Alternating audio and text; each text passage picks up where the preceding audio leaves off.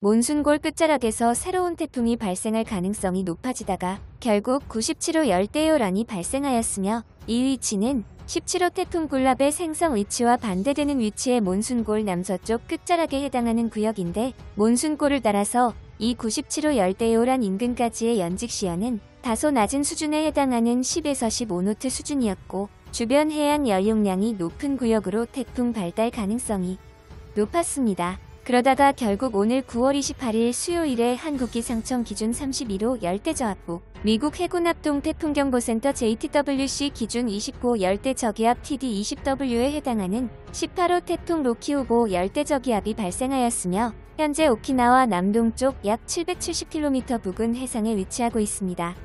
약 3일 전부터 미국 해군 합동 태풍 경보센터에서는 97호 열대요란에 대하여 옐로 서클의 단계로 태풍으로 발달할 경우를 대비해서 추적 감시를 시작했었으며 그제까지는 주황색 circle로 24시간 이내에 열대저압부가 될 확률이 중간 수준이었으나 어제부터는 97호 열대요란은 red circle로 수정 업데이트가 되면서 24시간 이내에 열대 저기압 즉 태풍이 될 가능성이 매우 높아졌다고 경고하였고 오늘은 드디어 TD 열대 저기압이 되었습니다.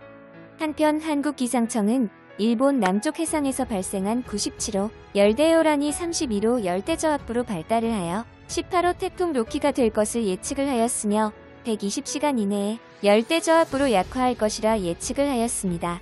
한국기상청은 31호 열대저압부가 내일 29일 목요일 오후 3시경에 18호 태풍 로키가 될 것이라 예측하고 있습니다. 이때의 중심기압은 1000헥토파스칼 최대 풍속은 초속 17m로 일본 오키나와 남동쪽 약 310km 부근 해상에 위치할 것이라 보고 있습니다. 태풍의 강풍 반경은 200km입니다. 이후에 북동 방향으로 방향을 튼 후에 일본 가고시마 그리고 도쿄로 향할 것으로 보고 있습니다. 그리고 10월 3일 오후 3시경에 열대저압부로 세력이 약화하게 됩니다.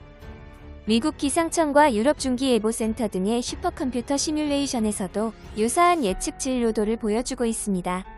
시청해주셔서 진심으로 감사드리겠습니다. 구독과 좋아요 알람 설정을 꼭 부탁드리겠습니다. 이 채널을 운영하는 데에 큰 힘이 됩니다. 감사드립니다.